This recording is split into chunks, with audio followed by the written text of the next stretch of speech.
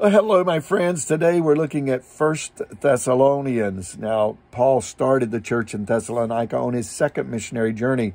And while he was there, he received a lot of persecution and opposition. And so when he left shortly afterwards, he wrote back to the church, uh, uh, encouraging them, knowing that they were still going through these afflictions and persecutions. And, uh, you know, all of us are going to go through times of persecution and times of afflictions and um, whether you love the Lord or not. And it's best to, to, to go through those difficult times with someone that can help you, seeking the Lord. In fact, in Psalms chapter 34, verse number 19, it says, Many are the afflictions of the righteous, uh, but the Lord delivers them out of them all. And so I want to say that when you're afflicted, you've got, if you seek God, you've got uh, uh, someone to help you through your afflictions. Uh, we look at Psalm 119, 67. It says, Before I was afflicted, I went astray. So afflictions can be good for us uh, to help us draw closer.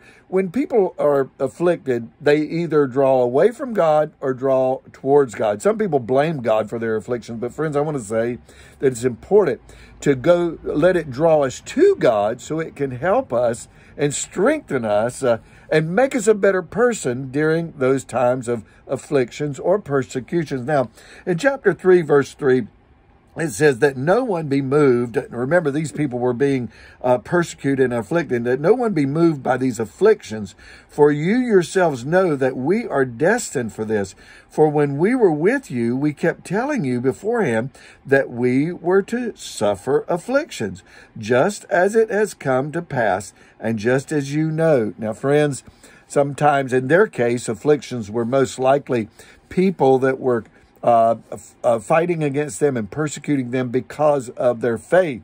Uh, that could be the case today. Um, in fact, Jesus said in Matthew chapter 5, uh, verses 10 to 12 uh, through 12 on the Sermon on the Mount, he said, Blessed are those who are persecuted for righteousness' sake. So there are many people all over the world that are afflicted because of the faith, and the Lord is still there to help you. And there's a special place uh, in the heart of God for those that are afflicted. Because remember, Jesus was afflicted, our Master was afflicted.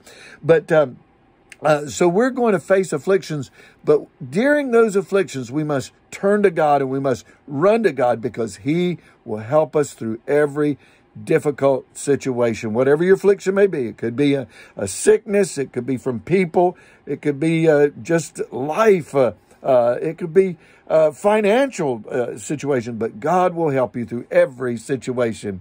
Well, God bless you. I hope you have a wonderful day. Bye bye.